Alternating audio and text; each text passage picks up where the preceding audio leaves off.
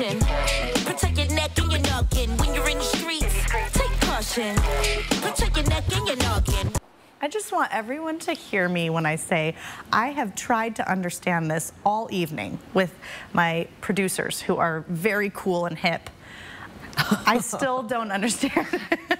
What are we watching? So this is the first track of the Consumer Product Safety Commission's debut album called We're Safety Now Haven't We? Which doesn't make oh, any sense. We're safety now, haven't we? I see a lot of outdated memes and things on there. I don't know. I don't know if the kids are going to go for this. There's a cute cat. I do like that little cat with the cell phone. I guess this album is meant to encourage kids to be safe while, you know, they're playing outside on their bikes and scooters and just general safety.